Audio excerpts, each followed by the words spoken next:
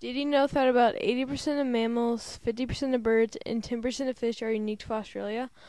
Among these Australian mammals are koalas, dingoes, kangaroos, and platypi. Also, Australia has no official language, but they speak Australian English, which is mostly like American English, except they have a distinct accent in terms like good day. A current happening in Australia Due to the high number of recent shark attacks, um, Australia started planning to reduce the amount of attacks.